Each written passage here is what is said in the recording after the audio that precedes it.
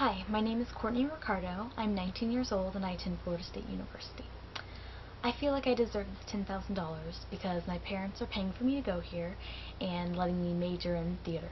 So, since I am basically choosing to be poor, I feel like this money would be a great way of repaying my parents and saying thank you for letting me go here and follow my heart. So, that's all.